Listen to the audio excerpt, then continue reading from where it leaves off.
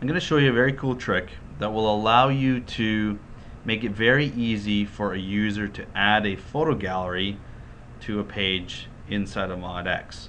And uh, I want to thank uh, Ben uh, for his help on this. And you can follow him on Twitter. And uh, what we're going to do is we're going to set up uh, a template variable that will hold the galleries that you have set up for uh, your website and then how to put those into a web page. So first thing you need obviously is gallery and you need to be using the latest version. I have version 1.2 running on here. Previous versions uh, did not have the capabilities of doing this so make sure that you have the latest version of gallery installed and uh, I've set up a couple of galleries uh, for this particular demonstration. So I've got two galleries here and some pictures in each. So go ahead and install that and make sure it's working properly.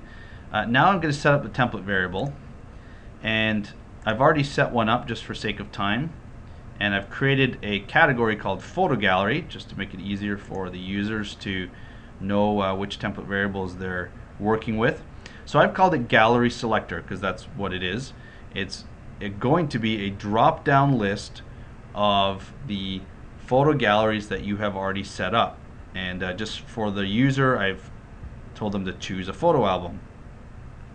The rest is, is all default. So set up this uh, template variable like this and choose save. And I'll show you what that will actually look like now for the user. So I'm go to the home page and template variables and there is our selector and if I choose the drop down. You will see both my first and second album with a little thumbnail there.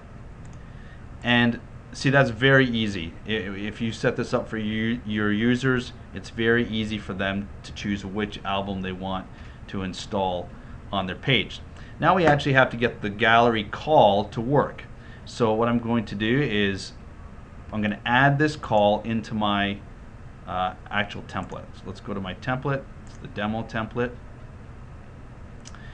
And I'm going to go down and find where the content is. There it is. And I'm going to put this after the content so I can add a little description maybe above the gallery about what it's about. And I've already got one copied here. Now just for sake of, of this tutorial, I'm going to just leave this very simple gallery call and I'm going to pull in the second album. So let's save this and we'll go to our home page. Right now there is no gallery, so let's refresh.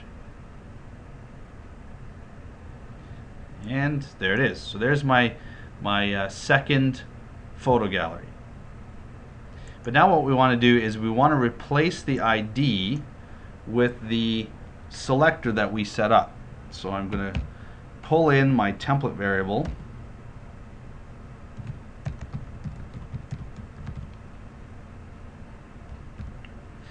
and save that. And if I spelled it correctly now if I refresh this my gallery should disappear. And there it does. Why? Because the home page right now has the selector set to none.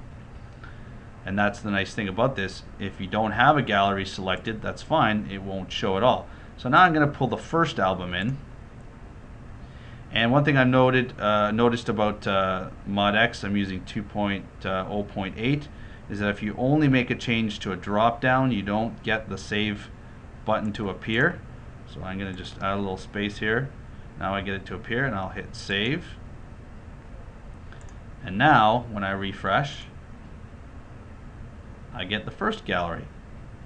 So that's how easy it is to add uh, a photo gallery selector, put it in the template. Of course, you can do a lot more with the with the call to gallery, but that's very simply you put it in the template, and then it gives the ability on any page for a user to add one of your photo galleries. So I hope this has been helpful.